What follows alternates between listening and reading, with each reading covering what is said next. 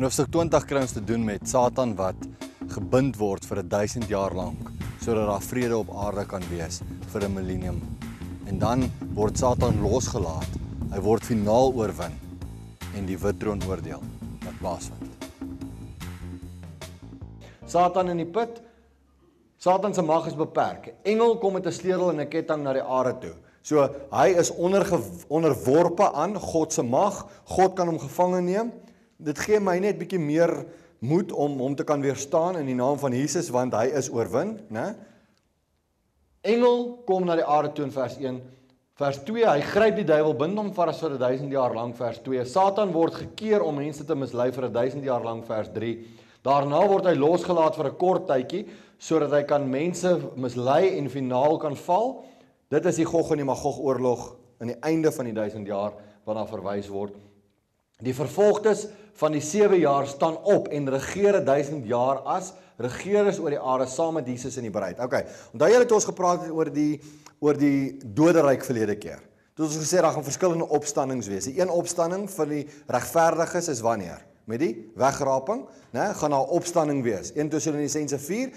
Ons wat in die lewe oorbly gaan hulle wat gesterf het hoegenaamd nie voorwees nie want die grafte gaan oopgaan en ons gaan saam met hulle weggevoer word die wolke en hom tegemoet in die lig om vir altyd by hom te wees en die pad wat ek vir julle gewys het. Hier's nou nog 'n opstanding wat wat voorspel word. Na die 7 jaar van verdrukking, na die die die die die slag van Armageddon, staan almal wat in die 7 jaar van verdrukking nie die merk van die dier gevat het nie, wat nie die die die die uh anti-kris aanbid het nie, wat nie die valse profeet geglo het nie, wat basies gestaan het teen al hierdie misleidings. Hulle staan op volgens uh vers 4 en sal saam met die bruid van Christus wat nou afgekom het 'n 1000 jaar lank as regters oor die aarde saam met Jesus in die bruid regeer. So as iemand wil weet wat gebeur met mense in die groot verdrukking wat gesterf vir Jesus, dis wat met hulle gebeur. Daar's die bewys. OK, dis die eerste opstanding, standing. Verlore is in die graf vers 5, skus, stuk fout vingers. Geseënd is hulle wat die tweede dood nie smaak nie. Met ander woorde, wie wat is die tweede dood? Die eerste dood is die dood wat ons nou kan smaak, wat ons in ons graf weggebêre word vir die opstanding tot die lewe of die opstanding tot die veroordeling. Dis dood se grondbetekenis is verwydering. So dit is 'n dood.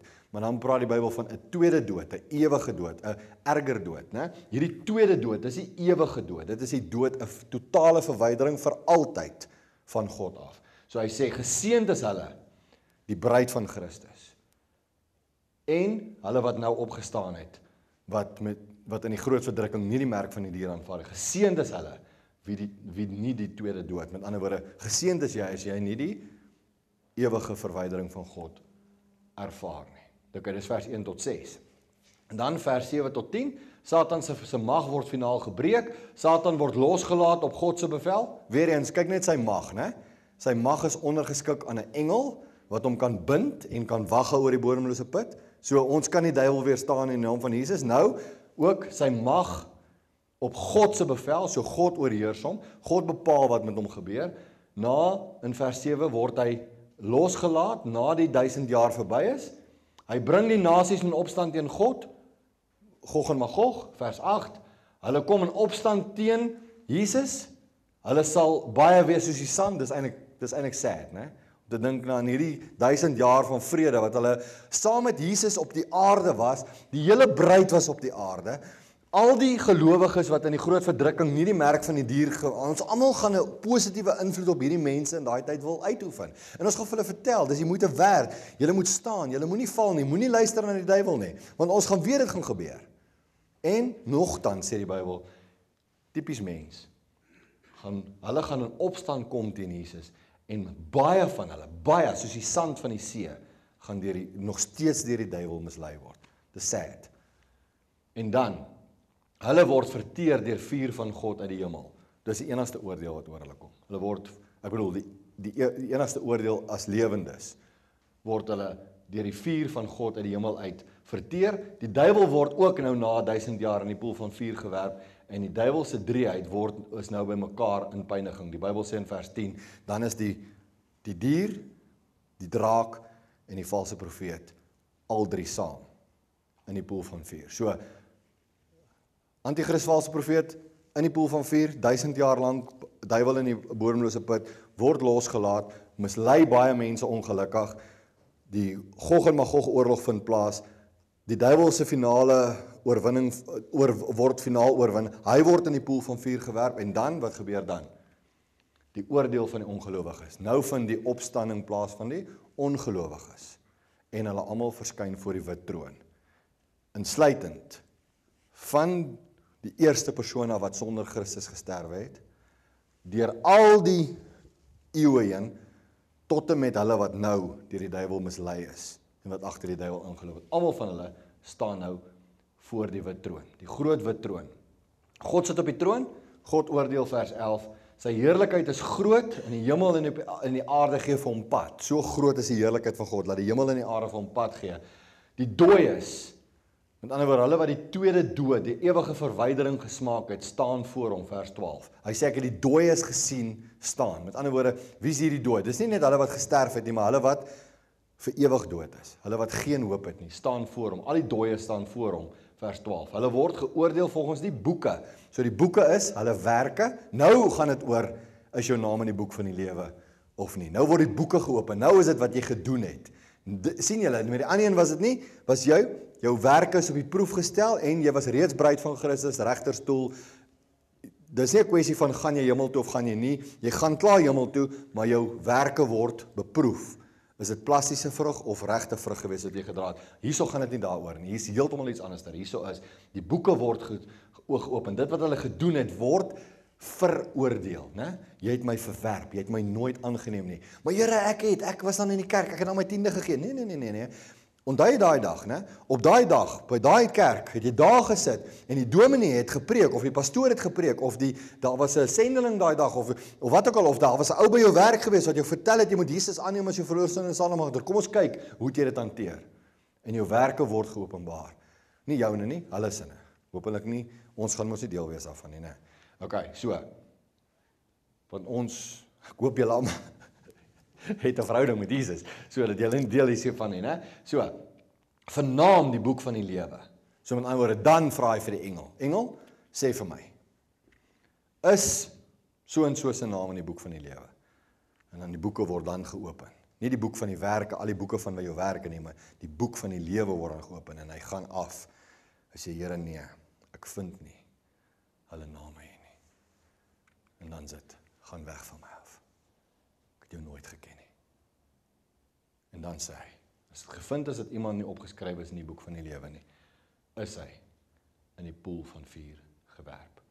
Die straf is die tweede dood, ewige verwydering, poel van vuur vers 14. Almal was daar, uit die see uit, uit die graf uit. Maak nie saak hoe jy dood gegaan het nie. Jy sal daar wees. Maatstaf wat gebruik word by die wit troon is die boek van die lewe verhouding, nie sonde nie, weer eens. Gaan nie oor hoeveel sonde jy gedoen het nie, dit gaan oor het jy 'n verhouding gehad met Jesus. Hy wat die seun het, het die lewe. Hy wat die seun van God, wie die seun van God nie het nie, het nie die lewe nie. Dit het ek vir julle geskryf dat julle kan weet dat jy die ewige lewe het. Julle wat glo in die naam van die seun van God. Dis die kriteria. Het jy die seun? Het jy nie die seun nie? Hierdie mense het nie die seun nie. Hulle het nie Jesus aanvaar nie. Ongelukkig. Maar as ons dit nou vir hulle sê, kan hulle nog hulle mind change en hulle kan deel van die bruid word. En dis om die evangelie te verkondig. Right. So, die verskil tussen die regterstoel en die wit troon, baie maklik. Die een is beoordeling, regterstoel. Beoordeling, beloning. Die ander een is veroordeling. Dit's net vir die gereddes, kinders van God. Hierdie een is vir die ongereddes. Hierdie een is jou werke word op die proef gestel.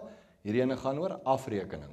Daai gaan oor goeie werke word beloon daai dade word veroordeel.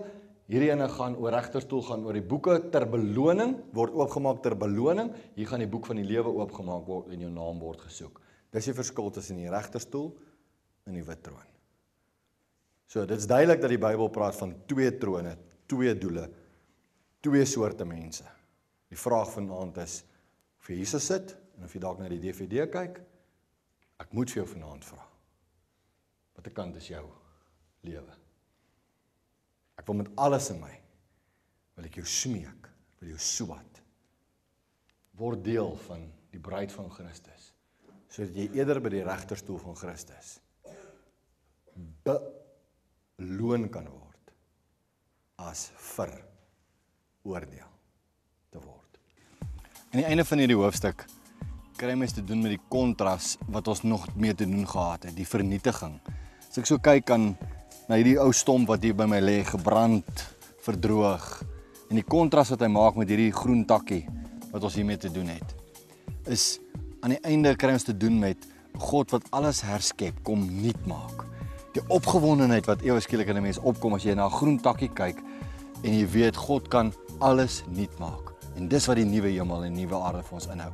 'n Opportunity om oor te begin en waar God van niets af met sy